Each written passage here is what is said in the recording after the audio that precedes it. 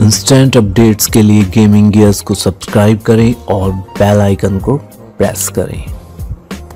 Guys आपने अपनी childhood में बहुत सारे ऐसे गेम्स खेले होंगे जो आज भी आपको याद आते होंगे। उनमें से कुछ गेम्स हैं Mustafa Street Fighter Marvel versus Capcom कुछ लोग उनको कॉइन वाले गेम्स बोलते हैं बट रियल में वो आर्केड गेम्स कहे जाते हैं। तो गाइज़ आज के वीडियो में मैं आपको बताने वाला हूँ, आप अपने जेल ब्रोकन हैन या सीएमडब्ल्यू वाले पी में वो आर्केड गेम्स वो चाइल्डहुड मेमोरीज फिर से कैसे ताज़ा कर सकते हैं। वीडियो में एंड तक बने रहिएगा वीडियो को स्किप मत कीजिएगा। शुरू करते हैं आज की वीडियो वीडियो में हूँ आपका दोस्त जैद और आप देख रहे हैं गेमिंग गियर चैनल।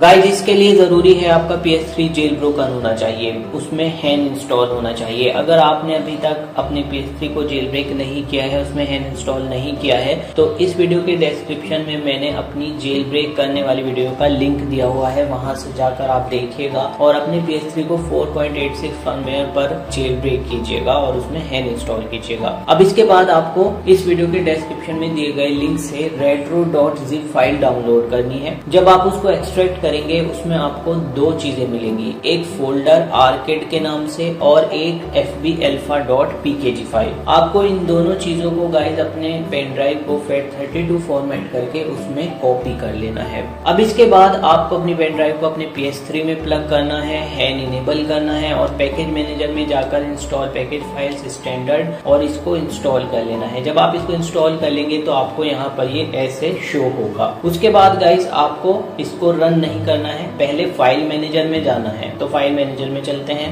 तो ये फ़ाइल मैनेजर पर आ चुके हैं। इसके बाद आपको अपनी पेन ड्राइव को ओपन करना है और आर्किड के नाम से जो ये फोल्डर है, इसके अंदर जितनी भी फाइल्स हैं, सभी फ़ाइल को एक एक करके आपको सेलेक्ट कर लेना है। स्क्वायर दबाकर ट्राइंगल दबाना है कॉपी करना है। अब आपको dev H D D zero में जाना है और गेम फोल्डर के बाद एफ़ बी ए एल ये वाला में जाना है। फिर इस वाले फोल्डर में कोर्स वाले फोल्डर में, अब यहाँ रोम्स वाले फोल्डर में आपको इनको पेस्ट कर देना है। गाइज़ ये सभी गेम्स की फ़ाइल है। तो ये मैं आपको मोस्ट पॉपुलर आर्केड गेम्स यहाँ पर एज ए गिफ्ट दे रहा हूँ। आप और भी आर्केड गेम्स डाउनलोड कर सकते हैं, वो आपको कूलरोम पर मिल जाएँगे। बट जो पॉपुलर आर्केड गेम्स हैं, जैसे Mustafa Street Fighter Marvel versus Capcom सभी मैंने इसमें इंक्लूड किए हुए हैं। तो ये हमारी फाइल्स कॉपी हो चुकी हैं। अब हमें फ़ाइल मैनेजर को बंद कर देना है। तो ऐसे हम वापस एक्सएमबी पर आ जाएँगे। अब हमें इसको रन करना है, जो हमने एफ़ बी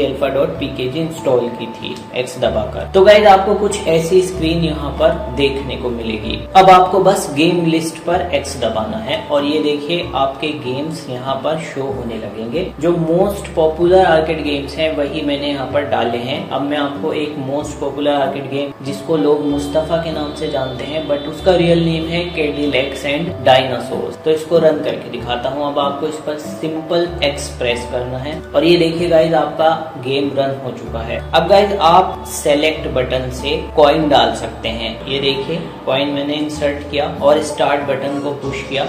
और ये देखिए, और ये हमारा गेम रन हो चुका है। अब गाइज़ यहाँ पर आप देख पा रहे होंगे, ये फुल स्क्रीन पर नहीं है। अब इसको फुल स्क्रीन पर करने के लिए आपको क्या करना है? आपको अपने कंट्रोलर पर L3 और R3 यानी दोनों एनालॉग स्टिक को एक साथ प्रेस करना है। तो आपको ऐसा ऑप्शन देखने को मिला है, मिलेगा। अब आपको वीडियो ऑप्शन में जाना है, और यहाँ पर आपको एस्पेक्ट रेशियो इसको 16 सेमिकोलन 9 कर देना है, क्योंकि आजकल सभी टीवी वाइड स्क्रीन वाले हैं। उसके बाद बाद आपको दोबारा से L3 और R3 दबाना है, यानी दोनों एनालॉग स्टिक दबानी है। और ये देखिए, अब आपका गेम फुल स्क्रीन पर है।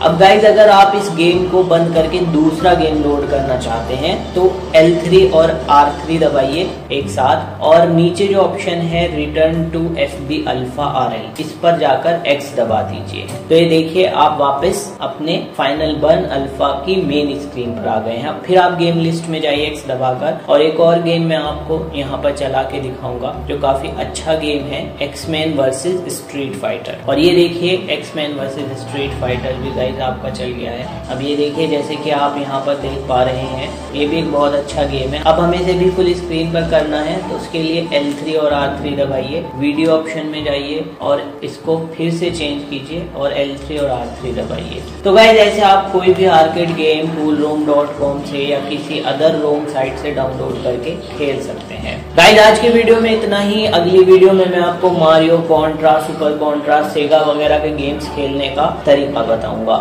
जल्दी फिर मुलाकात होगी तब तक के लिए be happy and happy gaming